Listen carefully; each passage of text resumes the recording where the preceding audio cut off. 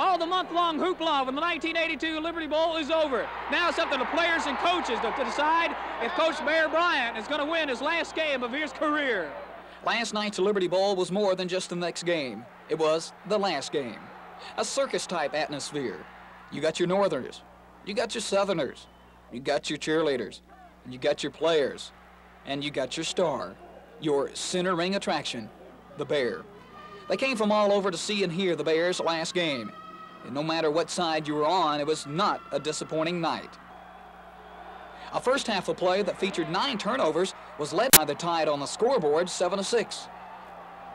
Half was even more thrilling as the tension grew. Well, by the third quarter, the weather was turned even colder, and it is cold here on the field, but the Tide is hot with a 14 to 6 lead. But Illinois would not die. Nine fourth quarter points behind the 423 passing of Tony Eason, the game went down to the final moments. But it was a swift, hard-hitting defense led by MVP Jeremiah Castille's three interceptions that turned Bryant's farewell party into a happy occasion. It's the best we played all year. We knew that we had to stop them, and we stopped them, but, you know, they, they completed some passes, but we never gave up. We knew we had obligations to keep to the state of Alabama and the university, and we went out there and did it for them. That's who this game belongs to, Coach Bryant and the University of Alabama and all Alabama fans in Alabama. The Bears' 323rd tree wasn't much prettier than the first one at Maryland in 1945, but it was more meaningful for all. This one is really important. It's the last one. It's the last time out. We're losing a great guy here, and I think it's fitting that he wins his last game. I'm not particularly excited about it.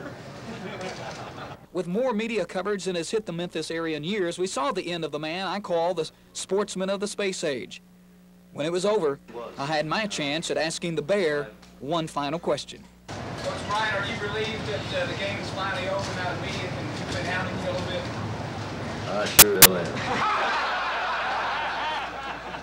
Goodbye, Coach. We love you, and we'll miss you.